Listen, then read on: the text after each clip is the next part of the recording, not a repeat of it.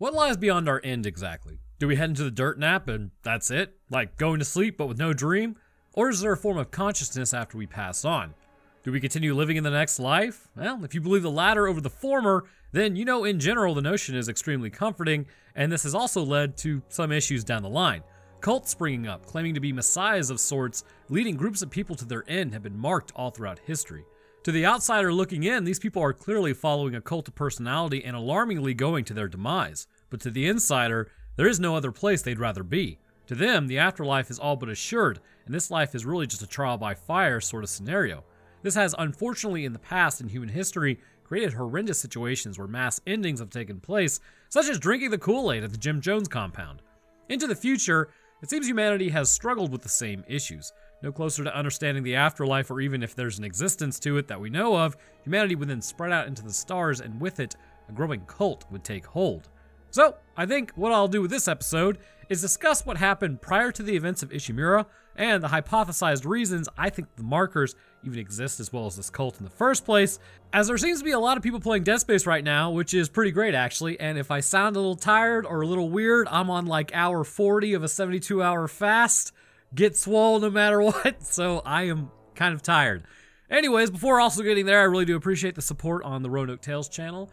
I should have a video over the strange disappearances of the people in the Bennington Triangle near Glastonbury Mountain in Vermont. That should be coming out either like yesterday or today. So if you want to check that out, it's always appreciated, and I will link it at the end of this video. All right, let's get to it. Spreading like a cancer in the beginning, it was noticed that it really wasn't much of a threat, but unitology would go on to infest the upper echelons of power all the way down to the commoner until they were completely entrenched in society. From here, they became more bold with their recruitment strategies literally calling this process indoctrination. I don't know about you guys, but I would probably be a little suspicious of that. Maybe Isaac isn't like crazy intelligent, maybe he just knows what indoctrination means. I don't know. Anyhow, as these fanatics spread out through the stars, they would ultimately find themselves with enough resources and power to make some pretty large scale decisions that could potentially affect the rest of the species. Which, once a cult gets to that size, you're not going to have a good time. Their ultimate symbol for their own rebirth into the afterlife, or being made whole, so to speak, was the marker. The marker exists as a ploy to sort of lure in unsuspecting species to their doom. Like an anglerfish shining the light in the darkness, what appears to be the warm glow of free energy was actually attached to a monster with massive jaws lying in wait to snatch up anything that happened by. 65 million years ago, the asteroid that took out the dinosaurs made impact with the Earth. This would spell the end to the species that dominated the world, but gave rise to the next that would dominate the stars. Small mammals would evolve into larger mammals as they filled niches left over by the absent dinosaurs until ultimately primates would come into the picture. Now, something to understand is this was all by design. Think of it this way animals live on Earth for hundreds of millions of years in complete harmony with the planet. Even when the Earth had a shakeup from volcanoes erupting to new ice ages to any cataclysmic event, the animals lived on. But once the marker arrived, that changed the entire balance. The marker, as we know it, puts out a pulse that changes the genetic coding, at least the man made one does. And, you know, I'm going to go ahead and say the black marker does as well, because I'm fairly certain it does. This is intentional by the species that originally built the markers. The original marker that was sent to Earth is known as the black marker. This specific marker's job was to impact on the planet that already had life and begin molding them into something new. To this effect, the marker succeeded. Touching down the Yucatan Peninsula, it would not be discovered for some time until Michael Altman, a researcher, ended up finding it. In the area outside of the marker, the people that lived in that town would cross their fingers whenever talking about the marker as a form of sort of like what they thought was protection. But in reality, they had already been altered greatly by this chunk of rock and would not even know that they were already at their end product.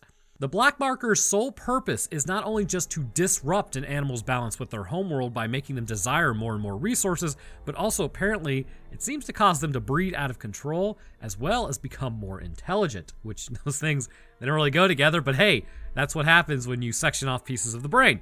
Some of this, again, doesn't sound like such a bad thing or that bad of a gig, to be honest with you. Becoming more intelligent is pretty great, but you have to ask yourself, is it better that space is empty? Or better for something to be out there. Both concepts carry their own weight depending on who you ask, but in the Dead Space universe, it's pretty apparent that it disturbed some people, and with others, it was a blessing because that meant humanity could do what they wanted unchecked because the stars were ours.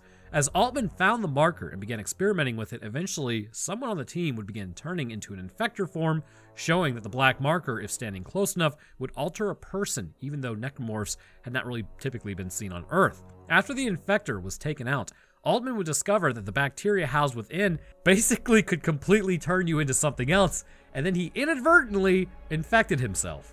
After he realized what he did, he was compelled to go to the marker because he thought it would offer him safety, a concept seen in Dead Space Remake as sort of like a safe or dead zone for the infection and the signal as mentioned, but this isn't reality. There is no safe zone around the marker, and although it seemed to delay the infection, the security team wouldn't be taking any chances. They put Altman down before he had a chance to infect the rest of the planet. Thus launched Unitology, Seeing Altman as a martyr for the church, rather than just a dude who didn't wear proper PPE, which is big cringe, they chose to believe that he was onto something with the whole life after death thing. Which again, the highest level of the church members actually do know this, but here's the fun part. You have different levels based on how much you've given and how much you've done for the church.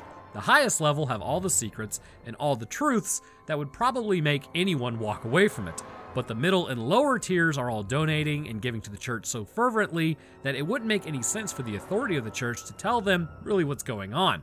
And that's what makes it so cult like. In fact, an argument can be made that the upper echelons don't even believe what they're really doing. They're just kind of like, yeah, I'm making a lot of money. I don't care. So, the people who want to move up in the church and learn more about what's going on are required to give to said church to have influence. This can come in several different ways, such as becoming a ship captain and then, I don't know, using your influence to help the church by installing more members into authority positions, or just outright giving them money. Either way, as you climb, you get told more and more about what's going on, but just shy of the whole alien bacteria thing and turning into necromorphs. But the problem with people floundering around in the dark and seeing a beacon of light is, as mentioned previously, that beacon sometimes has a massive pair of jaws with rows of teeth waiting in the darkness. When the Ishimura first discovered Aegis 7, they knew that they were not supposed to be there. It was an illegal mining operation in an illegal sector. However, Aegis 7 was too good to pass up on, and as a result, the planet cracking would commence because they were a company after all, and they had shareholders to appease. Upon cracking that bad boy up, which is an interesting thought considering, I mean, it does appear to be a dry world, but it also appears to have somewhat of a stable atmosphere that humanity could have colonized, so why break open this world? Well, that's because it may hint that someone at EarthGov is a unitologist as well and let something slip about an old secret. Regardless of what happened, this would result in the man-made red marker to show up, but interestingly, this one seems way more aggressive probably because it's man-made. With the black marker, its influence seems to be way more subtle. It spreads out, changing the genetic coding of mammals, or really any species, like say with the Tau Volantians, who got Shreked as well. Over time, molding them into highly intelligent creatures that will eventually leave their home planet and continue spreading to become what is essentially fuel to create another Brethren moon. But unless you got up close and personal with the black marker, it would not cause you to change to any large degree, and this is by design, because the last thing the Brother Brethren Moons would want is for a marker to touch down on the planet that had a very low population and then have to wait forever for it to actually create another Brother Brethren Moon. But it also needs to be noted that this still did affect people if you were in the area. In fact, it's noted that the townspeople closest to the marker had higher rates of paranoia and were a little more skittish than what would have normally been seen with regular people. Most of them had stories about seeing dead ones like all the time, but they were told not to follow them into the jungle sort of deal. And I actually went through and discussed how these people were able to survive. Now, there is a certain amount of resistance to the marker that some people exhibit, such as Ellie and Isaac, and even when Isaac helps Carver in the third game.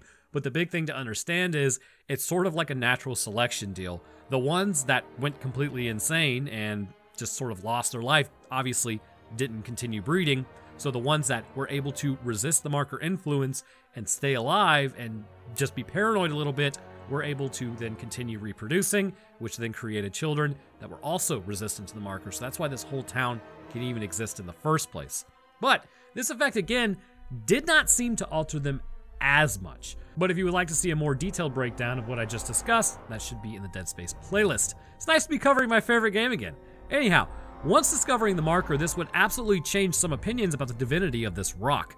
Likely when a slasher blade was going through someone's face, right into there, they're probably going to be thinking to themselves, hmm, this isn't a pleasant ascension into the sky like I imagined it was going to be, and then the blade hit their medulla oblongata.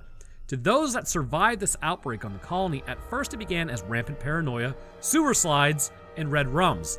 Yeah, don't blame me, blame the new policy changes on this site.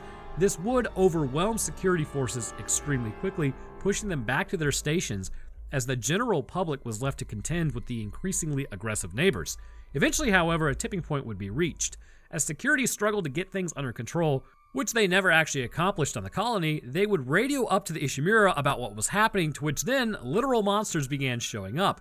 At first, it was just a few here and there, but as the bodies from earlier began to change and contort in the presence of the signal emanating from the marker, they would eventually get back up and start stacking more bodies around them. At first, the ways were relatively clear, kind of. I mean, even the flesh growing on the wall was seen at the beginning of Dead Space Extraction before anything big took off. But as more and more people dropped, a new strange substance would start growing even more out of control on the walls, on the floor, on the ceiling. And this was just confined to around the marker at first, but now it was everywhere. Taking samples from it, they would discover this cancerous growth had human DNA in it, but it had been altered to become what would allow it to grow on the walls as seen. Because if you didn't know, human cells can't actually grow very well outside of the body. You need a lot of chemical interaction within the body for cells to properly grow. And the only thing that we can really grow concerning human tissue in any large degree are actually cancer cells. So that's because they just want to grow by themselves. Uh, Cancer can, you know, suck it. The mass of flesh and bone growing everywhere would soon be regarded as an atmosphere changer at first, but what it was actually heralding was something much worse.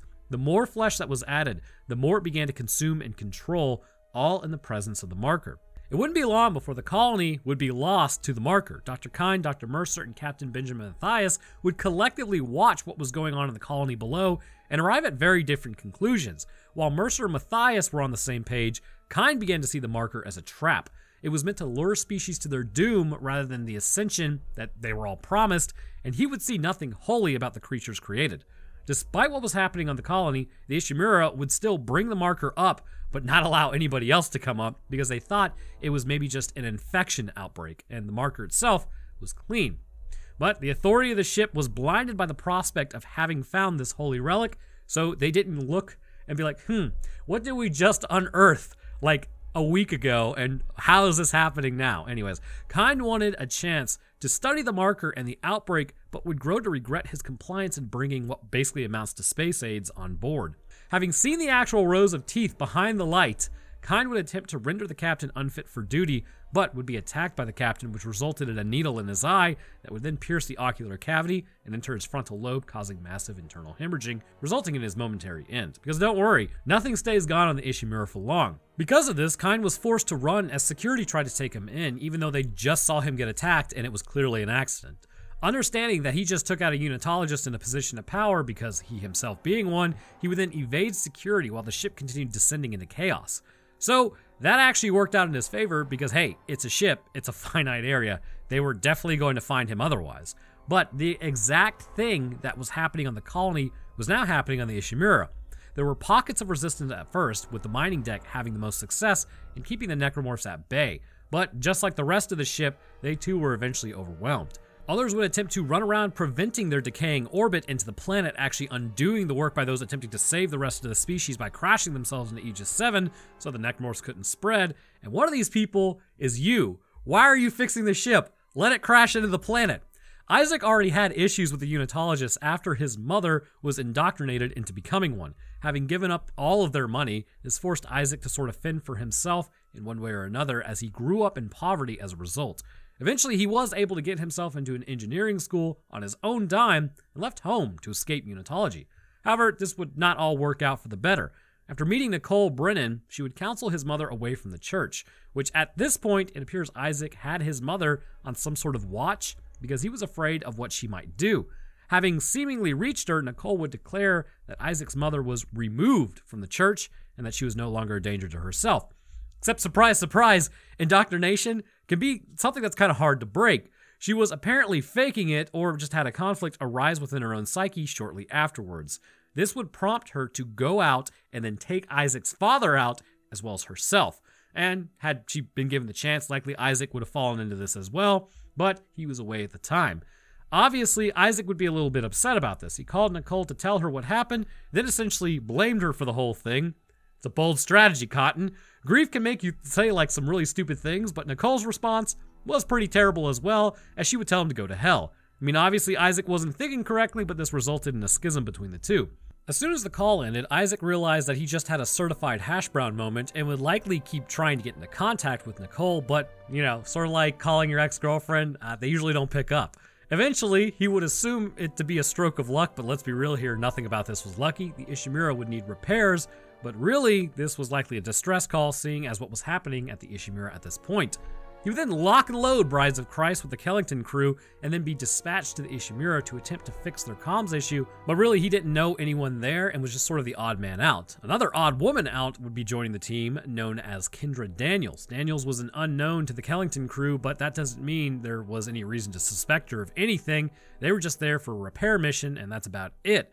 But this is also why I believe someone at EarthGov let something slip to a unitologist about the red marker, as there was no reason for her to tag along otherwise. Because how would she know about the marker if internally someone didn't tell her that they needed to go there to rectify the mistake that somebody else did, telling the unitologist to go there? Hopefully you've played Dead Space already. I mean, it came out in 2008. Uh, so I'm not really sure how much of a spoiler that is. Anyways, upon arriving at the Ishimura, it is an absolute bloodbath. It is said that there's a thousand people on board. Why would nobody pick up the phone? But somebody did. You can hear them gurgling in the background, and the rest have been turned into either like the meat paste on the walls or floors, and the marker's influence is now piloting their bodies around on the ship after the infection took hold. So those are about your two options. The ultimate goal of this outbreak is to convert every single person within the ship and colony into a homogenized clump of cells that then can be used to create a larger version of what is needed. This is the marker's ultimate goal.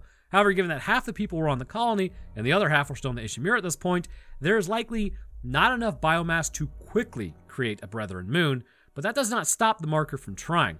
This could suggest that while the biomass available was not sufficient in making a Brethren moon, given enough time, the cells would keep dividing, and as a result, eventually a moon would be formed from the crust of the planet and the people that were absorbed already, which I will get into that a little later on in the video. Either that or the marker is not so much controlled by an outside influence, but instead is much like any other machine. It continues running as long as everything is going according to a set operational standard. However, I believe there still is a certain amount of connection to the marker itself, and I'm pretty sure that's confirmed by the lore as well. As Isaac makes his way through the ship, repairing functions to keep them from crashing into the planet, which is what the marker wants despite the fact that it will probably destroy the planet because the planet crack, we begin to see the influence of the marker firsthand. Beyond just the necromorphs, Isaac begins learning about how else it influences the bodies of those that it's affecting. With the infectors serving as the reanimators, witnessing the captain being turned into a slasher, it's clear that if this gets out, all of Earth will be doomed. And not just that, but one slasher was able to overwhelm a military ship. But what he doesn't realize is, by trying to fix this issue, he's subtly being manipulated by the marker the whole time. While this manipulation can result in things like headaches, fear, paranoia, and aggression, for Isaac, believed largely to be due to his intellect, he sees symbols and numbers, so the brain is spared the madness most succumb to. The marker at this point is affecting his very genetic coding, turning him slowly into one of the monsters on board and rearranging his brain meat one hallucination at a time. Assuming this to be an internal idea that he had at first, returning the marker to the world was the thing to do, which was also confirmed by Nicole as well. So, everything seemed to be coming up Milhouse despite issue after issue cropping up, attempting to stop this from happening. It almost seems like maybe that should have been an indicator for not doing that, but hey, it is what it is. Loading up the marker and retrieving Kyne and Kendra, Kendra then go on to betray Isaac and take out Kyne. Her intentions weren't to just let him expire as she assumed he could find another way off the ship, but she also left him with like a ton of monsters and they couldn't find another ship past that. In fact, Hammond had to tell them about this ship so I think basically, I mean, she did kind of leave him to, you know, meet his end. Kendra then goes on to tell him that this was an EarthGov marker that was left here in quarantine so nobody could find it, which would have been in humanity's best interest. It was actually based on the alien black marker that was found back on Earth. She was sent to retrieve it with a conditional ship known as the Valor, basically there to nuke everything should it get out of hand. Although they were probably just going to nuke the ship anyways once Kendra was clear. Kendra then takes off as Nicole radios Isaac to come up to the flight deck so they can recall the ship, which Kendra then nopes out in an escape pod and Isaac gets back on board and heads down the direction of Nicole. Once getting down to Aegis 7, the state of the planet is finally shown. Barren and lifeless, a small colony was set up on the edge of the planet crack and would serve as the miners' home for the time being. After the outbreak, large growths grew everywhere, the same as on the Ishimura. Necromorphs were then all over the place, having apparently been down there for a very long time. As Isaac returns the marker back to its pedestal, he is told the entire like time by Nicole that there's like this dead zone that'll protect him. And considering all the research that she was doing and that he saw her doing on the marker, he really had no reason to not believe her. Of course, if my wife started saying cryptic things like make us whole, I might begin to suspect her a little bit. That, hmm you know, something might be going like weird here. I don't know. But once returning it, he would then go on to activate the gravity tethers to get out of there. But then Kendra would finally make her appearance and then section him off. It is shown that the marker has great influence over how the mind operates at this point. I mean, with Kendra, she kept seeing her little brother, right, who had expired at some point long ago, which was obviously distressing to her. For Isaac, he saw Nicole the whole time, helping him to get the marker back to the pedestal because it was going to save them all. For Cross, she saw Jacob Temple, a person she was intertwined with, and that she was basically helping him get the marker back to the pedestal. Kyne saw his wife Amelia helping him as he relayed they needed to return the marker back to Aegis 7. For this to take place, obviously these are hallucinations, but it's also going to have to change the functionality of the occipital lobe in the back of the head, because otherwise you would still see what you would normally see. And then once that illusion is broken, your mind can no longer unsee it. It's sort of like that stupid, uh, what is it, blue and black dress versus white and gold from back in the day. I don't know. I saw white and gold. Anyways, the whole time the marker was dictating to them that they needed to return it for their safety, but in reality, it was the start of a convergence event that would spell their undoing. So, what is a convergence event, I hear you asking? I'm glad you asked. Convergence is the ultimate goal of the marker, and to understand it, we actually have to jump ahead to Dead Space 3. There are these things called Brethren Moons, and I mentioned them just a little bit earlier, but the Brethren Moons' main and only goal is to increase their network and cleanse the galaxy of all life, basically turning it into them. Basically, the galaxy is just a giant farm to these creatures. One moon sized creature is composed of a single species and the surface and atmosphere of that planet that it goes to absorb. This makes them whole, but not in a way that would be worth being a part of, at least in my opinion. So the question is which came first, the chicken or the egg? See, the Brethren Moons could have always existed, but then the question becomes how do they create markers? I have mentioned this in a previous episode, but it's been a long time, so I'll just sort of restate my stance on this. I believe the marker was not created by a Brethren Moon, but was actually created by an ancient species. This species, like all species, was likely looking for untapped energy that they could use much like humanity would do. It's possible that this species was the first to grow outside of their homeworld and were the original use all the resources on this planet and then move to the next kind of beings. Over time, they would likely realize that there was an energy in the universe that didn't come from the sun or like a molten core or anything that they could see, but it was measurable. This background energy likely came from a higher dimension, at least on how I'm thinking. Which, by the way, I don't think I don't I didn't mention this, did I? But we're kind of gonna get out there with some of this stuff. So just uh, come along for the ride, I suppose the best way to say it. But I believe this helps explain why the markers exist in the first place, if the infectious bacteria does as well. To harness this energy, a conduit would be needed. The markers serve this purpose to capture this energy, focus it, and make it usable within our universe. But the issue with energy is if it's not understood, it can have effects that you didn't consider at first. Uh, look at the demon core, for instance. I mean, much like with radiation damaging our genomes, exposure to this energy clearly has a similar effect. This initial species would continue to make more and more of these markers as it empowered their technology, but over time, it seems something would take notice. The problem with the concept of higher dimensions is we do not know exactly what's out there. I mean, take a one-dimensional being, right? And let's say for argument's sake that it was sapient. Like, they can only see in one dimension, so just height, that's it. Then have them try to understand a three-dimensional being. It would seem that, say, us for instance, would phase in and out of existence because it's beyond the perception of one dimension it couldn't comprehend the other two dimensions in which we inhabit. So it would see like a sliver of us that could disappear if we moved anywhere. So now take us as a three dimensional being and try to comprehend a fifth dimensional being. It would seem that this species could phase in and out of existence as well because we cannot comprehend two dimensions above our own. Again, I know that there's a point to all this that I'm going to make here in a second. This energy that was likely detected but not understood could potentially be coming off of something that is a higher dimensional plane of existence than our own, meaning we would never see it, but could easily see this species, sort of like we could easily see a one dimensional species. Having their energy used, this opened the doorway for this hypothesized species to interact on our level, which at this point, we don't know what their motives are or what they would even be, and if we could even understand them in the first place. But at this point, their fate was sealed. Slowly, their own coding would be altered and changed until they became monsters themselves. This would result in a convergence event where their entire species was assimilated. Once assimilated, you can kind of think of this like the Brethren Moons as being controlled by a higher dimensional being. Each one gets their own species, so to speak.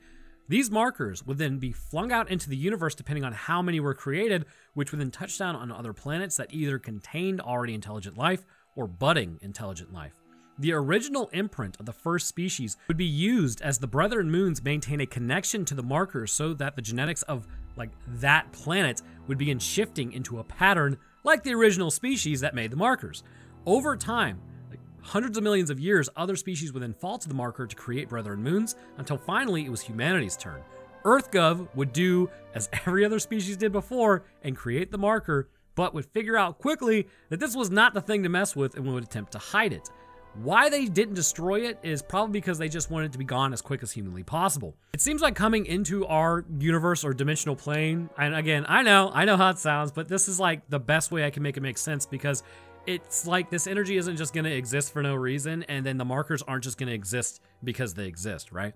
But it seems like the Brethren Moons are at least somewhat omniscient, but it does seem like there is an absolute limit to kind of everything that they know, at least within our galaxy because they did not know the location of Earth until after the Tau Volantian Brethren Moon was destroyed, and they needed Isaac and Carver to basically exist long enough for them to glean that information from their brain, which again is why I think they're just a higher dimensional being, as they are able to warp drive to Earth with just their bodies, which is phasing in and out of our understanding of existence, and then appear at random, or what we assume to be is random. All this is to say that the marker itself is not a living being capable of its own thought, but instead is just a tool or conduit, clearly showing the goals and motivations of another species that I do not believe we can really comprehend. But judging by its actions and the fact that it's self-serving, it's clearly predatory. Now, that was kind of a crazy thing to kind of throw out there, like, oh, well, this higher dimension is predatory. Well, I mean, if predators can exist within our own dimension, why can't they exist within other dimensions? Humans would be tricked into worshiping this energy or species because we assumed it to be above our species and would bring us into the afterlife. However, the reality was yes, our tissue would go and would be pushed by the marker's energy to reanimate, but no human consciousness was to be found. Instead, Every infected individual is like a micro version of a brethren moon to which the species on the other side of the marker can control and influence to create the things it needs to fully inhabit within our dimension. How the marker is capable of this is actually quite interesting. Again, I have an older video over this, but essentially, when your mind ceases to be, typically your body would follow suit after the chemical reactions also stop. This results in your cells and your body expiring, and that's usually all she wrote on it. However, Dropping within the marker presence presents a much different effect. While the body stops communicating with hormones because really nothing is directing it, a new process begins as it takes over the communication, but also takes over the metabolism. So think of it this way rather than a cell to cell communication leading to life and a cell keeping itself alive by nutrients coming in and then using those nutrients to make ATP, basically the cell is leading to life. The marker assumes the role of the brain and all the nutrition essentially dictating to every cell what to do in the body and how to perform. Again, this is why I believe there was a species prior to the Brethren Moons that built the markers as their way of overcoming limitations of even something like a Dyson sphere. Because our universe didn't appear to have enough energy and they needed more and more resources. They would eventually find this background energy and then use it. This would expand to whatever empire that they had, which might be beyond belief based on our own understanding. And this was until the higher beings took notice. And they're higher as in higher dimension. Uh, they can catch the boot like every necromorph. But it's sort of like a mouse stealing food from a human grain silo sort of scenario. Once you notice it, you're screwed. Once the marker has control of the cells, it changes the coding at first and has been doing so the entire time so that the cell functions differently. Even in death of the person, the cell itself is still living, as the marker has the ability to change them into infectors and slashers, and different forms later on, which we'll be running down in future episodes for nostalgia's sake. But this is why you drop, your cells are still alive, your consciousness is gone, and this is why it requires this process, because your brain is also still struggling for control, even though things are changing in your body. But It just takes a lot longer, and it will eventually result in that person dropping because they will take themselves out because the brain itself is also changing. But for now, the marker also provides energy for the cell so that it is no longer reliant on nutrition, which is also, I believe, the cells within the corruption can eventually continue to grow into a Brethren moon as minerals from the crust are taken by the cells to divide, and the energy for the marker is provided so that it can also continue to divide on that, making it seem like a lot of this like gross stuff growing on the wall is coming out of nowhere, but in reality, it's just happening differently from what we would consider normal. So again, I believe your tissue was never truly dead once you die in the presence of the marker. Your consciousness just is, which is why unitology is a cult, because if your consciousness doesn't continue on, then what's the point of convergence? That's what created the cognitive dissonance within the cringe Mathius and Mercer, as they saw this and thought, oh, maybe we didn't understand it. Whereas Kyne was based and understood that this was not the work of some divine being, but a predatory something that we could not even begin to comprehend. But anyhow, I want to thank you guys for watching. If you enjoyed, then leaving a like would be great, and subscribing is a great way to stay up to date on when I post. Let me know what you thought about this. Also, next up on the chopping block is the actual biology of these guys. It's funny, I went back and watched my older videos where I say, oh, now I write better and my audio doesn't sound like trash. Both of which are still very untrue to this day now. Uh, so that was kind of funny. Anyways, so it's uh, going to be uh, way more in-depth sort of breakdowns than the old ones as I feel like I know more now. But I'll drop Roanoke Tales, my Twitter, Patreon, and Discord in the description for all those that are interested. And speaking of patrons, I'd like to thank mine real quick. First, huge thank you, as always, to our astronaut, Wesley A. Weaver Jr. Thank you, man.